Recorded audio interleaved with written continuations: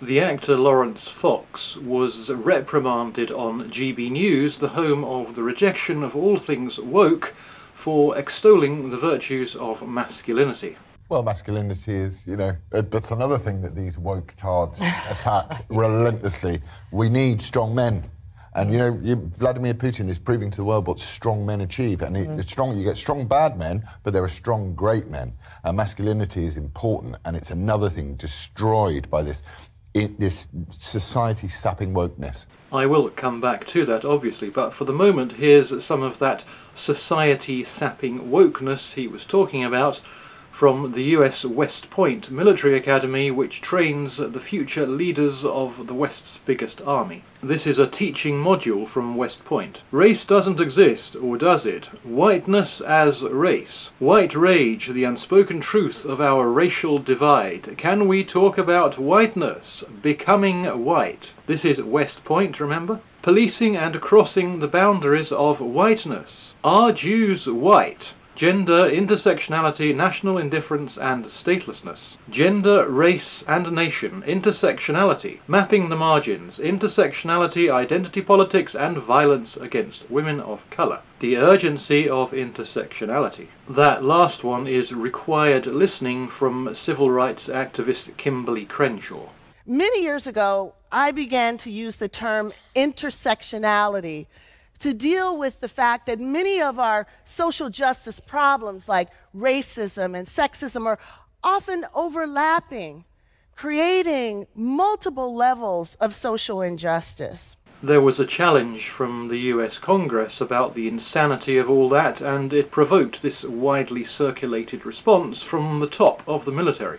But I do think it's important, actually, uh, for those of us in uniform to be open-minded and be widely read. And the United States Military Academy is a university. Uh, and it is important that we train and we understand. Uh, and I, I want to understand white rage, and I'm white, and I want to understand it. Maybe battle strategy and tactics come in the next module. Anyway, that's a tiny little bit of background to what Laurence Fox was talking about. We need strong men. And you know, you, Vladimir Putin is proving to the world what strong men achieve. And it, mm. it's strong, you get strong bad men, but there are strong great men. And masculinity is important, and it's another thing destroyed by this it, this society sapping wokeness? Well, I don't think we can really be having any of that. Can we go for strong women as well? Yeah, you're surrounded. apologise for that language there, because we're not really allowed. I don't think what, we're allowed to what, say that. What did she say there? I apologise for that language there, because we're not really allowed. I don't think what, we're allowed to say that. We're not really allowed to say that. What language? I'm not going to say it, but I'm not going to repeat Men. it. I'm not going to say it. I'm not going to repeat it. It might be worth repeating at this point, in case the impression had been given that Laurence Fox had been advocating for genocide, what he did actually say. We need strong men. And you know, you, Vladimir Putin is proving to the world what strong men achieve. And it, mm. it's strong, you get strong bad men, but there are strong great men. And masculinity is important, and it's another thing destroyed by this. It, this society sapping wokeness. And quite the response to date, which would seem to need some elucidating. What language? I'm not going to say it, but I'm not going to repeat Men. it. But no, no, well, actually that as well.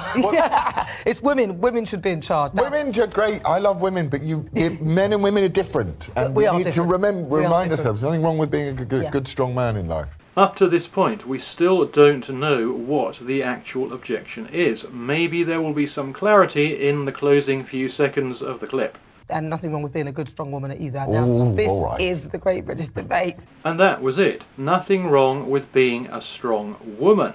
Laurence Fox's crime wasn't to say we need strong men. It was failing to say in the same breath, and let's not forget we also need strong women.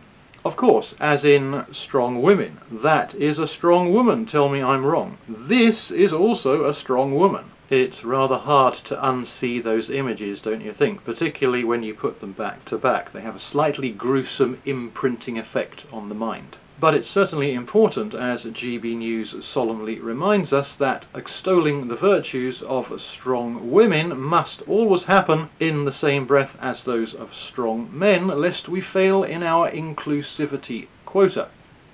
GB News, the home of all things anti-woke. I apologise for that language there, we're not really allowed. I don't think what, we're allowed to say that.